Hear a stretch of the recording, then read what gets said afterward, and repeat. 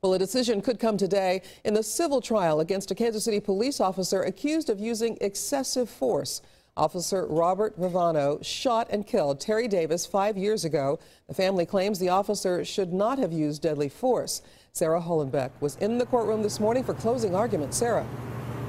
Cynthia, we heard those closing arguments from both sides over the last two hours, and I can tell you they were both very compelling. The jury really does have a tough decision to make today.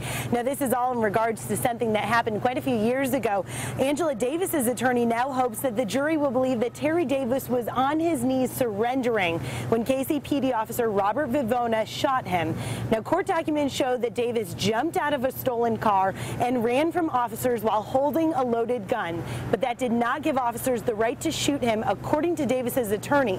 Yet on the flip side, Vivona's attorney says the officer acted in self-defense. She argued that Davis wouldn't have grabbed a loaded gun before jumping out of a car unless he intended to use it. Now, the other very interesting part about this case is that if these jurors do decide to side with Angela Davis and say that her son was shot unfairly, they also have the ability to write down two different amounts. One amount being the amount they believe she's owed for compensation because of the loss of her son, and a second amount that they hope that the police department has to pay as a punishment. Should be very interesting playing out in court today. We are live in downtown. Sarah Hollenbeck, 41 Action News.